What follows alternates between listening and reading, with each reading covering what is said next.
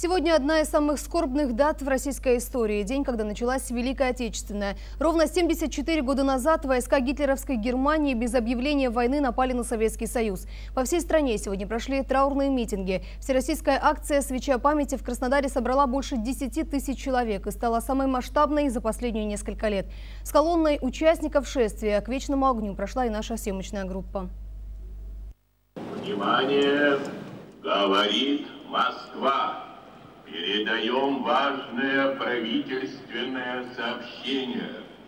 Сегодня в 4 часа утра, без всякого объявления войны, германские вооруженные силы атаковали границы Советского Союза.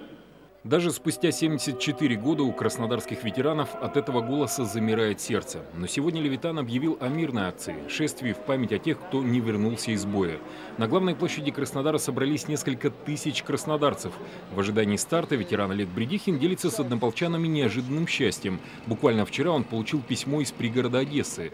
Жители поздравляли воина-освободителя с Днем Победы, но конверт к 9 мая опоздал эти люди, которые живут там, помнят нас. Мы освобождали это село, помнят нашу дивизию, помнят, что мы принесли им освобождение, и вот присылают с уважением коллектив учителей учащихся это письмо. Звучит «Вставай, страна огромная» и колонна краснодарцев со свечами движется по главной улице. Во главе фронтовой транспорт, джипы, мотоциклы и легендарная полуторка. Затем ветераны, руководители края и города, активисты-общественники и те, кому дорога память о героических страницах истории. Подвиг тех людей, которые погибли на этой войне, неоценим. Если бы они не совершили этот подвиг, мы бы все здесь не шли. Поэтому почтить их память – это просто наш долг. Все мы потеряли своих близких, прадедушка вот у меня умер на войне. И честь него тут, конечно, нужно, обязательно нужно. Все люди не спят пришли почтить память. К шествию присоединялись десятки прохожих. Оно растянулось на несколько километров.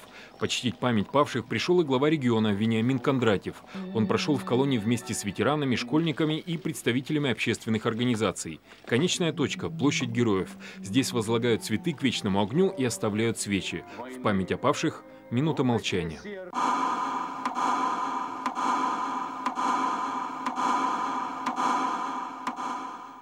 Мы сегодня собрались здесь чтобы вспомнить тех, кто принял первый бой, тех, кто ценой собственной жизни боролся и жертвовал собой за будущее своих поколений.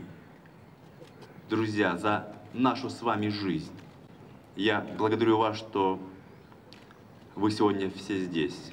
Мы здесь, в день памяти и скорби. Свечи горят в наших руках.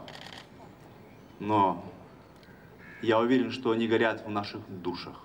И они будут гореть вечно в душах поколений победителей. За последние несколько лет эта свеча памяти самая масштабная. Впервые к вечному огню пришло такое количество людей. Мероприятия в знак уважения к подвигу и мужеству советского народа начались еще в выходные. В воскресенье на Театральной площади поисковики представили военные артефакты – ручные гранаты, авиационные бомбы, винтовки и предметы солдатского быта. Звучали фронтовые песни, а горожане фотографировались на фоне ретро-автомобилей и мотоциклов. Выставка символизировала восстановление страны после самой кровопролитной войны в истории.